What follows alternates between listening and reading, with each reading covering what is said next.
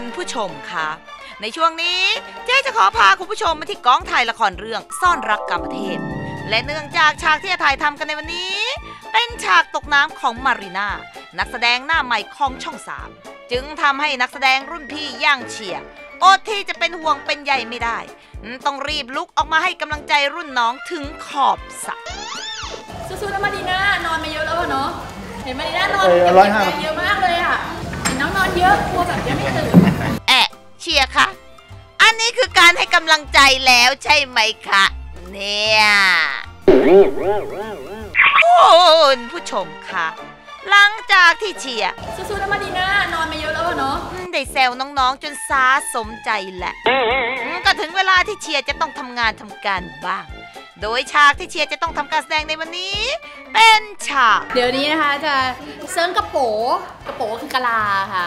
ซ้อมทุกวันวันละ 8 ชั่วโมงนะคะซ้อมมาประมาณ 3 เดือนได้ค่ะ และผลจากการซุ่มซ้อมมาอย่างหนักตลอด 3 เดือนก็คือเอาไปซ้ายบอกก็คือหันใช่กะลาชนหนึ่งลงแอะอันนี้จะเป็นหนึ่งสอง สี่สี่สี่เซนจะต้องเสร็จจบตรงไหนคะจบแค่ก็กางมือออกเนี่ยค่ะอ่ากางมือออกประมาณนี้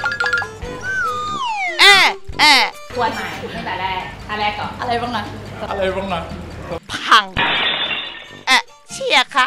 อืมตกลงว่าตลอด 3 เดือนที่ผ่านมา มันไม่มีค่าอะไรเลยใช่ไหมคะ เชียร์สามเดือนไม่เหลือเลย คุณผู้ชมคะถึงแม้ว่าเชียร์นั้นทวนใหม่ตั้งแต่แรกท่าแรกก่อนอะไรบ้างนะอืมเรียกว่าลืมไปทุกท่าที่เรียนมาเลยดีกว่า แต่เมื่อถึงเวลาถ่ายทำจริง เชียร์ก็สามารถทำออกมาได้อย่างเต็มที่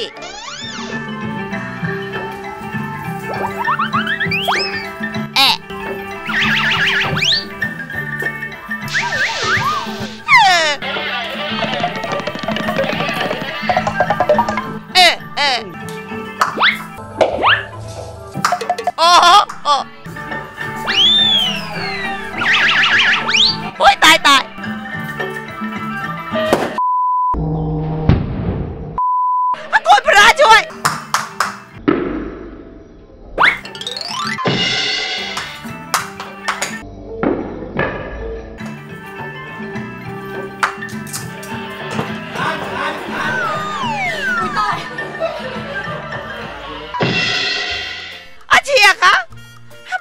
ที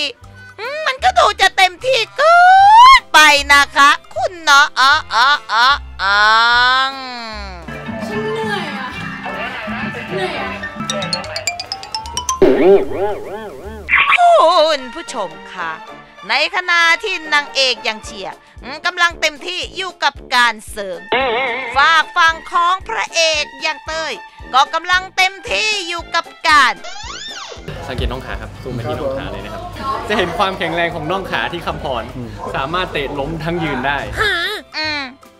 แซวนางเอกมีความกุดของเล็บเท้า สามารถเอาเท้านี่เหยียบกะลาแตกได้เลย ด้วยพลังหนักแน่นของขาเขาหอบทำไมอะแก่แล้วเหรอ อะแต่แต่แต่เต้ยคะเชียร์ฝากมาบอกว่า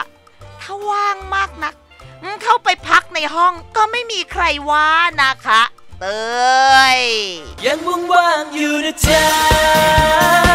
อะเธอก็ว่างอยู่ใช่ไหม